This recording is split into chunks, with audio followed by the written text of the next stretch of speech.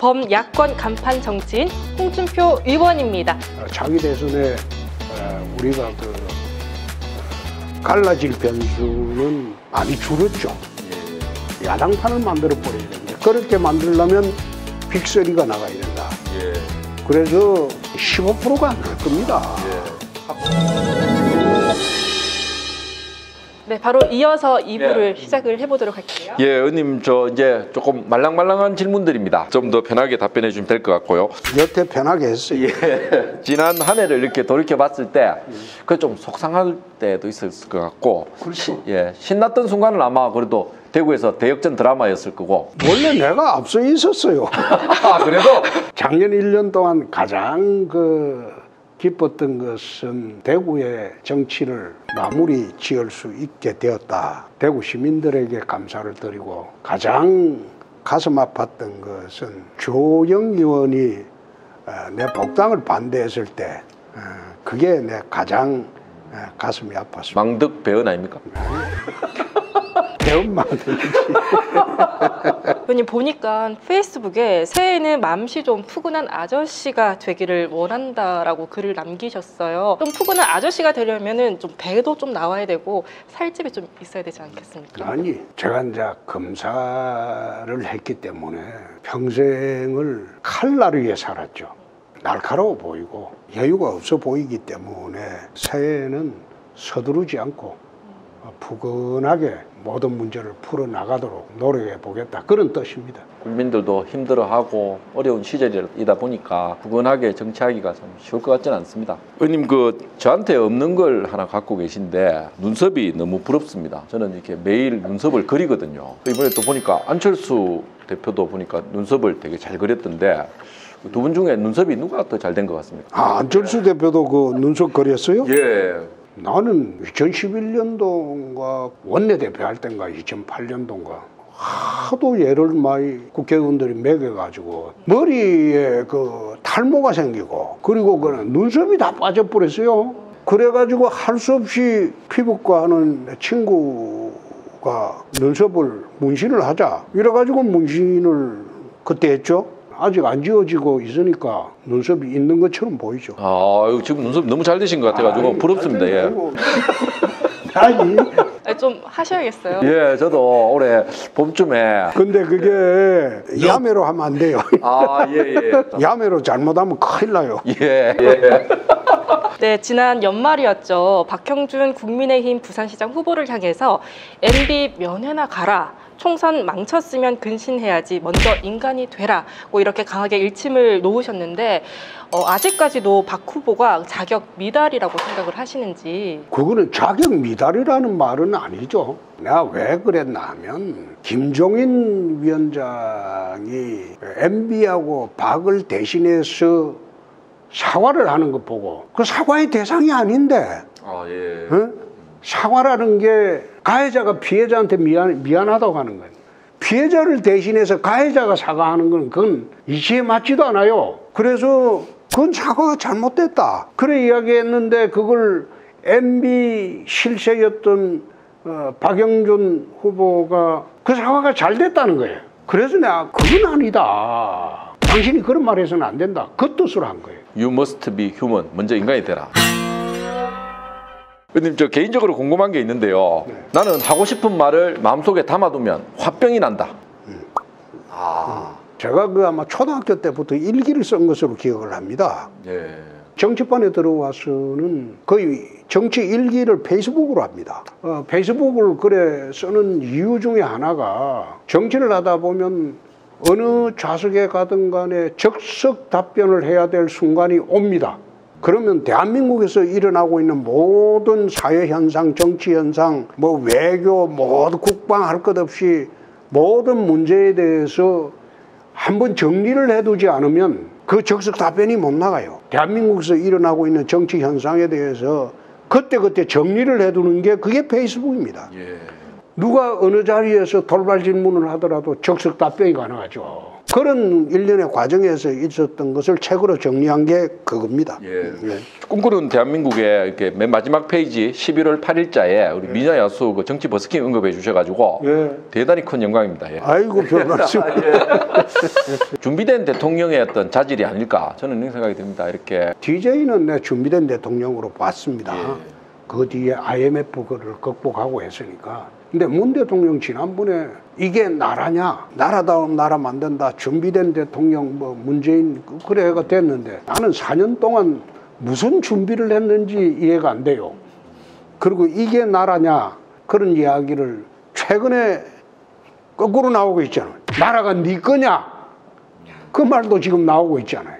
그래서 어, 준비된 대통령이란 말은 적어도 문 대통령 경우에 한해서는 국민을 속인 헛구요였다. 그럼 홍 의원님은 얼추 준비된 대통령 이렇게. 네, 같은 검사로 봤을 때 윤석열 총장이 나보다 더 강골이다 아니다. 그거는 좀 그 판단을 하기가 좀 그간 게 이- 이거로 하는 게 아니고. 예, 그게 그게 아니고. 제가 검사를 할 때는 나는 평검사였어요. 해병대 조직보다 더 상하 관계가 엄격한 검찰 조직이었어요. 그 조직 속에서 나는 평검사를 하면서 검찰 조직의 위에 사람들이 반대하는 사건을 못하게 하는 사건을 수사를 했고 윤석열 총장 같은 경우에는 검찰 간부를 하면서 자기가 지휘해서 수사를 하거나 그리고 그 박근혜 대통령 수사할 때도 전 검찰이 한편이 돼서 수사를 한 경우에 지금도 어, 윤석열 총장이 검찰총장을 하면서 전 검찰을 힘을 모아서 수사를 하잖아요. 나는 뒤집어감이 수사를 하면서 핍박을 받았고 조직으로부터 윤 총장은 조직으로부터 전부 자기가 위에서 통화하면서 수사하는 게 그거는 아예 비교 대상이 안 되지. 어, 윤석열 총장하고 제가 검사할 때하고는 무슨 객관적인 환경이 틀려요. 조직 환경 자체가 네. 다르고 조국 추미애 박범계 이게 전현직 그 법무부 장관 세 분인데요. 의원님께 생각하시기에 제일 워스트 누굽니까? 셋 다 똑같다. 셋 다 똑같아. 법무부 장관 깜들이 아니죠. 예. 문 대통령 시절 들어와서 법무부 장관은 아무나 하는 장관이 돼버렸어요. 김학의 전 법무부 차관 그 출국 금지 요청서를 가짜로 했다. 이게 말이 됩니까? 저는 검찰 조직이라는 거는 바람이 불기도 전에 먼저 눕고 바람이 거치기도 전에 먼저 또 일어섭니다. 그게 검찰 한 50년 내에 관례였어요. 김학의 사건의 출국 금지 위조 어, 사건은 검찰의 속성으로 보면 됩니다. 저 바람이 불기도 전에 먼저 알아서 기는 그 속성으로 보면 됩니다. 네, 다음 질문은요. 제 개인적인 사심 질문인데요. 이상형 월드컵입니다. 배현진 대 김민정. 그거는 난영 난제라고 하지. 어, 누가 더낫그 어, 그거 하다고 내가 이야기 못하지. 야수 대 민영. 아니 뭐 그것도 끝을 향해 달려가고 있는데 문재인 정권과 여당의 그 4년 가까운 집권 시기인데요. 4년을 돌아보면서 비판하시지 마시고 칭찬거리 한 1분 정도. 쇼하는 거는 내가 참 많이 배워야 되겠어. 예. 나 4년 내내 쇼만 봤으니까. 어, 문재인 대통령 쇼만 4년 내내 봤으니까. 우리 국민들이 지도자를 뽑을 때는 이미지를 보고 뽑아서 는 나라가 망한다.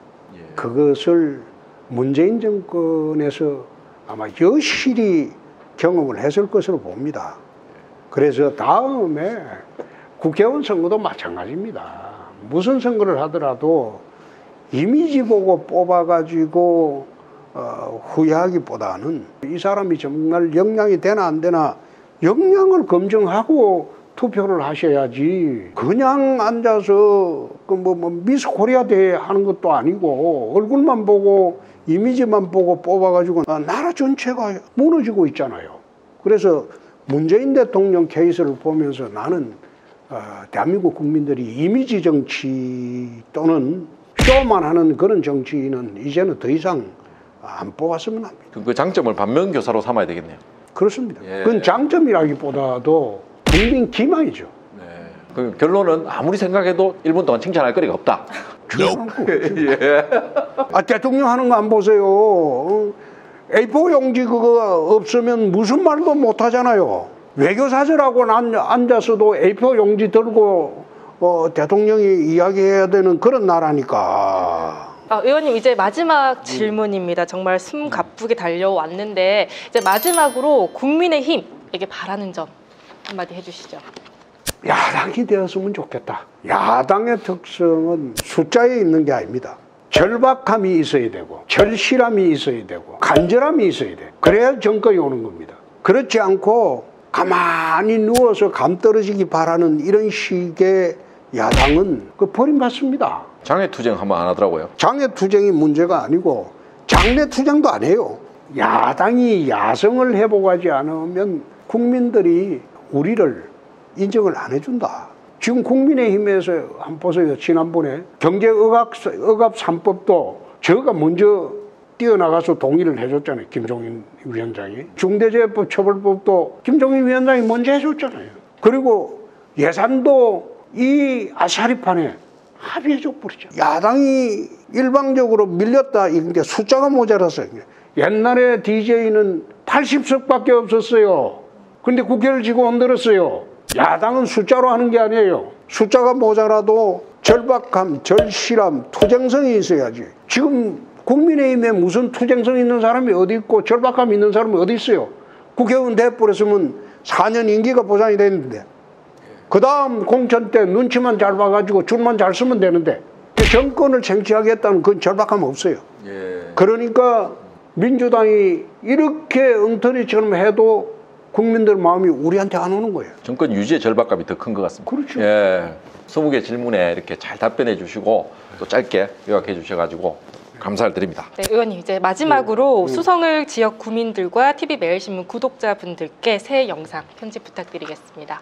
새해에는 어, 우리 대구 경북뿐만 아니라 대한민국이 모두 어, 좀 마음이 편한 그리고 잘 사는 어, 그런 나라가 되도록 어, 노력을 하겠습니다.